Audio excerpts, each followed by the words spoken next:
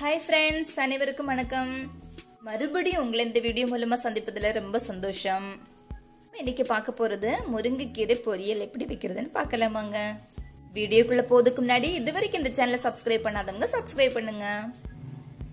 முருங்கைக்கீரை பொரியல் பண்ணுவதற்கு தேவையான பொருட்கள் முருங்கைக்கீரை ஒரு கப் எடுத்து வச்சிருக்கிறேன். சின்ன வெங்காயம் கொஞ்சம் தேங்காய் துருவியது. இது தாளிக்கிறதுக்கு தேவையான உளுந்து கடலைப்பருப்பு கடுகு சின்ன ஜீரகம் எடுத்து வச்சிருக்கிறேன். அப்புறம் அரைக்கிறதுக்காக கொஞ்சம் பச்சை மிளகு அப்புறம் ஒரு முட்டை எடுத்து வச்சிருக்கிறது இவ்வளவுதான் தேவையான பொருட்கள். தேவையான பொருட்கள் பார்த்துட்டோம். இனி அடுத்து என்ன பண்ணலாம்னு பார்க்கலாமாங்க தேவையான பொருட்கள் நம்ம என்னென்னு பார்த்துட்டோம். நெக்ஸ்ட்டு நான் ஒரு ஸ்டவ் ஆன் பண்ணி ஒரு பேன் அடுப்பில் வச்சுருக்கிறேன். இது கொஞ்சம் ஹீட் ஆகட்டும். இப்போ கொஞ்சம் எண்ணெய் சேர்த்துக்கிறேன். எண்ணெய் நல்லா சூடாயிடுச்சு. நான் இப்போது எடுத்து வச்சிருக்கதான கடுகு ஆட் பண்ணிக்கிறேன். ஓகே கடுகு நல்லா பொரிஞ்சிருச்சு. இப்போ எடுத்து வச்சிருக்கதான கடலைப்பருப்பு ஆட் பண்ணிக்கிறேன். கடலைப்பருப்பு உளுந்த பருப்பு உங்களுக்கு ஆப்ஷன் தான். சிலவங்க இந்த அவங்களுக்கு பிடிக்காது அதனால் போட மாட்டாங்க. பிடிச்சிட்டுன்னா போட்டுக்கோங்க உங்களுக்கு ஆப்ஷன் தான். அடுத்து உளுத்த பருப்பு போட்டுக்கிறேன். லைட்டாக இது ஒரு கலர் சேஞ்ச் வர வரைக்கும் நம்ம கிண்டி விட்டுட்டு இருக்கலாம். ஓகே இந்த டைமில் நான் எடுத்து வச்சுருக்குதானே சின்ன வெங்காயத்தை கட் பண்ணி இதில் ஆட் பண்ணிக்கிறேன். சின்ன வெங்காயம் லைட்டாக வதக்கி வர வரைக்கும் கிண்டி விட்டுட்டே இருக்கலாம். ஓகே சின்ன வெங்காயம் லைட்டாக வதங்கிருச்சு. அதோட பச்சை வாசமெல்லாம் போய் லைட்டாக இதாகிடுச்சு சின்ன வெங்காயம் இந்த அளவுக்கு வதங்கினா போதும். லைட்டாக ரொம்ப ப்ரௌன் கலரில் வர வேண்டாம். நான் இந்த டைமில் எடுத்து வச்சுக்கதானே முருங்கைக்கீரை ஆட் பண்ணிக்கிறேன்.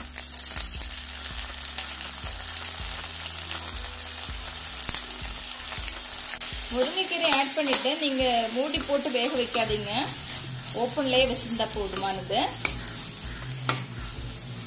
ஓகே இது லைட்டாக இது வேகட்டும். அதுக்குள்ளே நம்ம துரி வச்சுருக்கதான் தேங்காயும் ஜீரகமும் பச்சை மிளகும் சேர்த்து அரைச்சிட்டு வந்துடலாம்.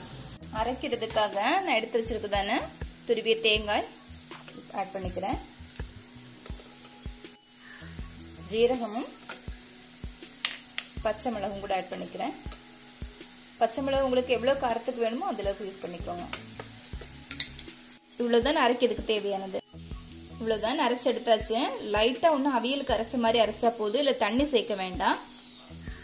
கீரை லைட்டாக வதங்கிருச்சு. ரொம்ப வதக்க விட வேண்டாம் நம்ம. நான் இப்போ இந்த டைமில் எடுத்து வச்சுருக்குதானே?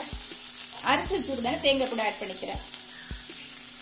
தேங்காய் போட்டுட்டேன். இதில் லைட்டாக அந்த பச்சை வாசம் எல்லாம் மாறுற வரைக்கும் லைட்டாக கிண்டி விட்டுட்டே இருக்கலாம். உப்பு கொஞ்சமாக ஆட் பண்ணிக்கிறேன். பொரியல் ஆல்மோஸ்ட் ரெடி ஆயிடுச்சு. இல்லை முட்டை வேண்டாம் அப்படிங்கிறவங்க இது அவாய்ட் பண்ணிக்கலாம்.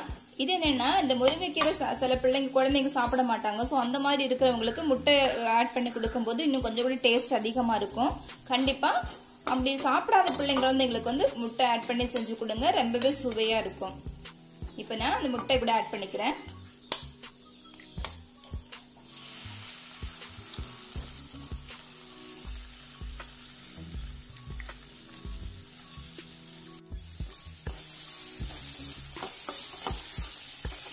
முட்டை ஆட் பண்ணிட்டேன். நல்லா கிண்டி விட்டுருங்க அவ்வளோதான் ரெடி ஆயிடுச்சு. நான் இப்போ ஸ்டவ் ஆஃப் பண்ணிக்கிறேன்.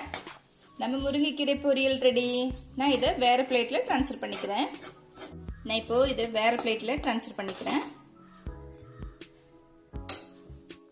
நம்ம முருங்கைக்கீரை பொரியல் ரெடி அவ்வளோதான் நம்ம முருங்கைக்கீரை பொரியல் ரெடி இந்த வீடியோ உங்களுக்கு பிடிச்சிருந்தா வீட்டில் இதே மாதிரி செஞ்சு ட்ரை பண்ணுங்கள் அப்புறமா லைக் மற்றும் ஷேர் பண்ணுங்கள் தேங்க்யூ